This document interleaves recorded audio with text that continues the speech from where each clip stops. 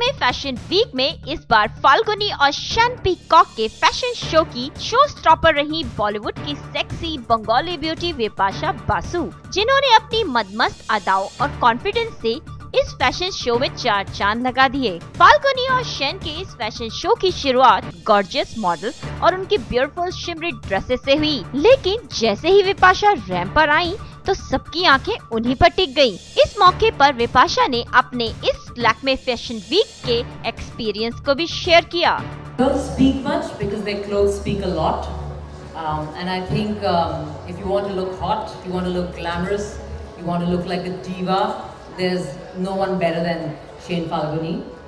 And uh, I just can say that today was fun. After a long time, I did this again for them.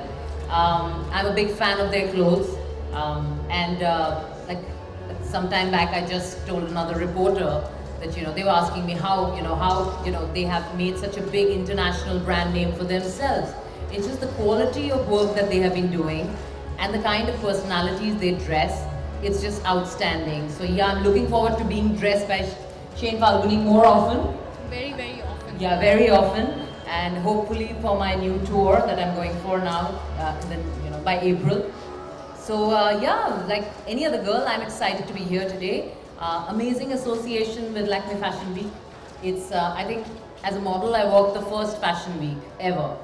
So it's uh, a full circle. Today I'm an actor and getting to be a part of that, uh, you know, where, you know, uh, designers, brands, um, you know, artists of all kinds are encouraged so much. I think they're doing an incredible job. All the very best for the years to come.